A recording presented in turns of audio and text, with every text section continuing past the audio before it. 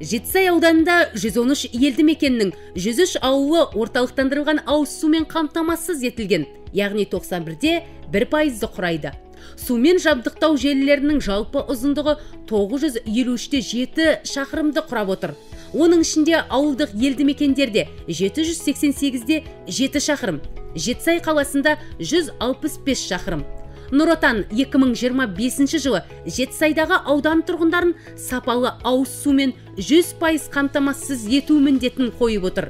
Әрине оған жергілікті жұрт қуанары ақиқат. Бұрынғы сайлаулардан қазіргі сайлаудың ерекшелігі бұрын жеке адам мен ананы бітіремін мынаны бітіремін деп көп уәде бергенменен ол сайлаудан кейін оның қолына қолына шамасы келмейтін еді.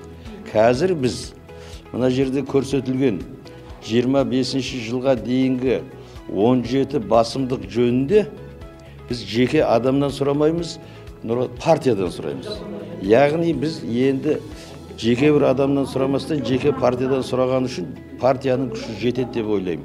Бұл өте бір сондай бір табылған ақыл. Сайлау күні барлық осы көпшіліктерді нұр отан партиясына дауыс беруге шақырамын. Халық үшін керегі әлеуметтік мәселенің шешілгені бұл мақсатта нұр отан партиясы жетісай қаласының ауызсу жүйелерін қайта құрып 2023 жылға дейін үш ауылдың тұрғындарын кезең кезеңмен сапалы ауыз сумен толық қамтамасыз етуге ықпал етпек. Мәселен 2022 жылға ералиев ауылдық округі жазықсай елді мекенінде мақталы ауылдық округі жайлаукөл елді мекенінде құбыр тартылады. Ал 2023 жылы ералиев ауылдық округі жамбыл елді мекенімен кезекте тұр. Нәтижесінде 2025 жылы жетісай тұрғындары сапалы ауыз сумен 100% қамтылады деп нұр отан партиясы сөз беріп отыр. Нұр отан партия жетісай аудандық филиалы бүгінгі таңда қазіргі таңда жоспардан тыс үгіт насихат жұмыстарын жүргізуде.